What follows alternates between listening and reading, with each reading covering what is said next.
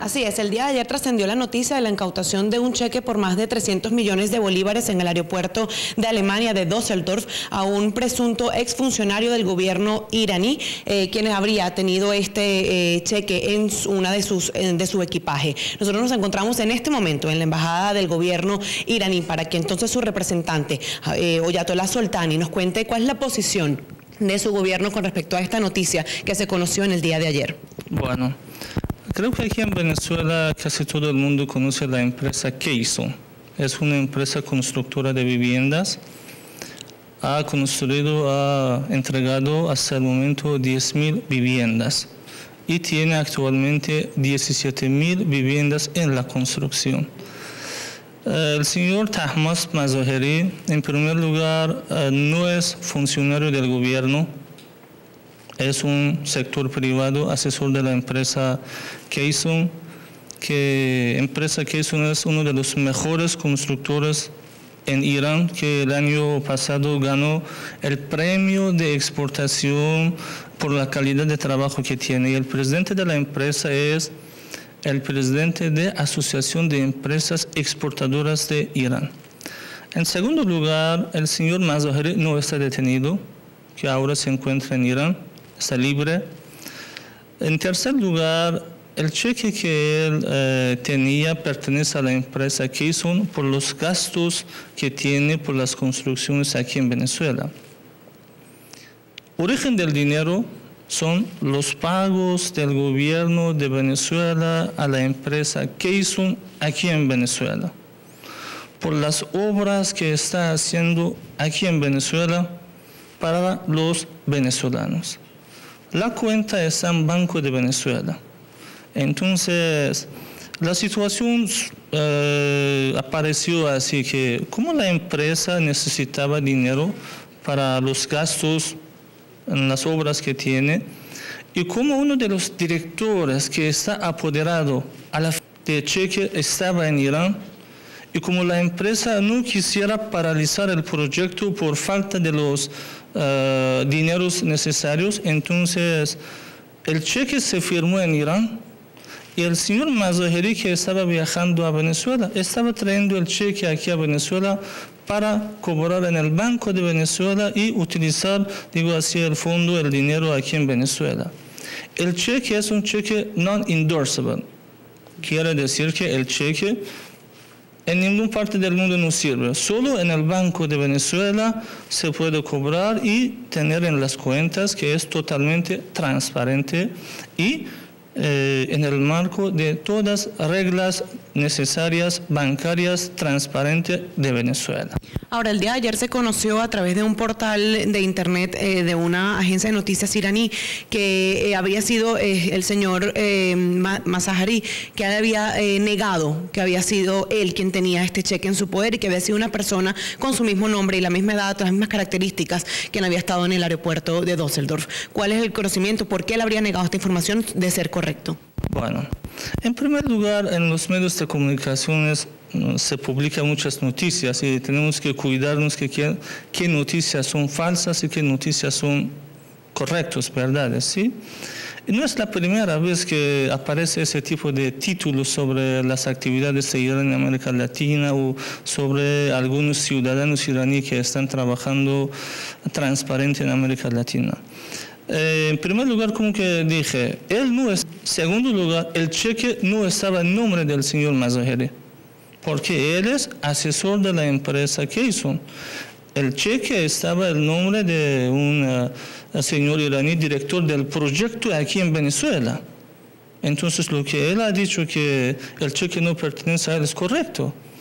En segundo lugar, uh, como dije, no es la primera vez ese tipo de los títulos. Ustedes seguramente recuerdan cuando aquí estábamos construyendo la planta de tractores. Nos acusaron que Irán está haciendo actividades nucleares aquí en esa planta. Y los tractores cuando salieron lo nombraron tractores atómicas. Y la bicicleta atómica que nombró el presidente Chávez también fue así que mientras que nosotros estábamos trabajando reactivar una planta de bicicleta, nos acusaban de hacer algunas actividades nucleares. Esta vez algunas partes de las noticias que sale que están exagerando sobre algún caso normal que ocurrió eh, viene por, eh, por nuestra opinión por objetivos políticos que tiene el imperio para afectar nuestras buenas relaciones que tenemos con Venezuela eh, y sobre todo que ahora el representante jurídico de la empresa Keyson en Alemania está haciendo todos los trámites jurídicos para eh, devolver el cheque aquí en Venezuela, que es en el marco de las leyes transparentes bancarias venezolanas. Ahora, ¿por qué entonces el exfuncionario, porque también tenemos conocimiento de que fue eh, viceministro y ministro de Finanzas del gobierno iraní, ¿por qué él habría negado eh, o no habría declarado que tenía este cheque en su poder si esto fue así?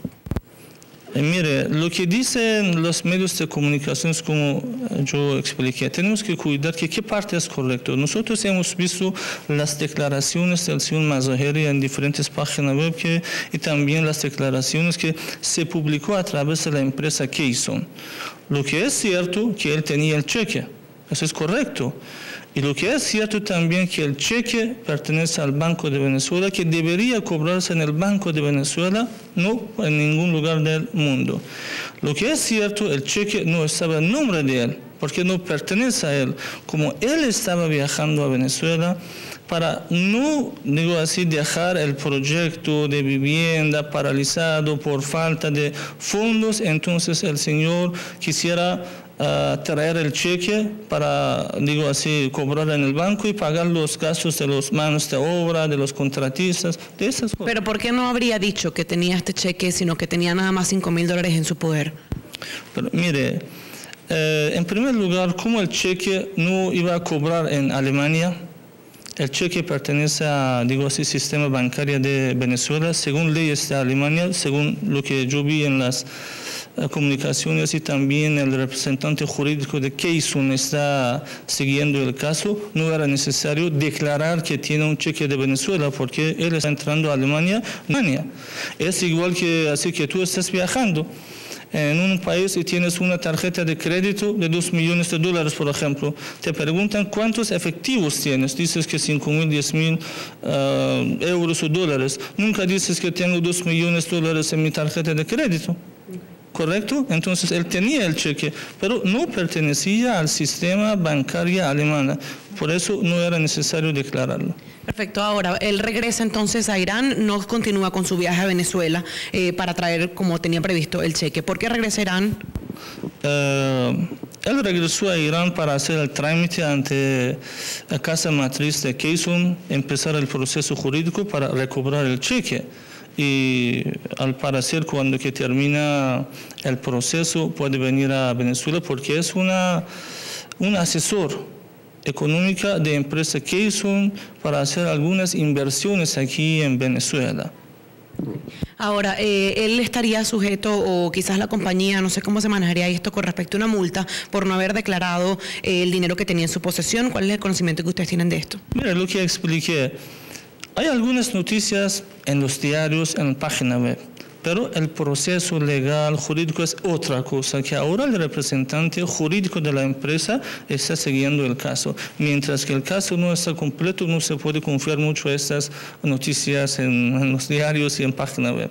Perfecto, agradecemos entonces, como ustedes escucharon, declaraciones del embajador de Irán en Venezuela, Oyatollah Soltani, quien ha declarado que todo el proceso, toda la noticia que se suscitó desde el día de ayer, que se dio a conocer el día de ayer, está en perfecto conocimiento, que todo está eh, en perfecto estado, que no hay ninguna irregularidad en el caso y que todo el proceso legal se está llevando a cabo, las investigaciones eh, de las que tendremos conocimiento entonces próximamente. Esta es la información que tenemos por el momento y que con ello regresamos al paso de los estudios.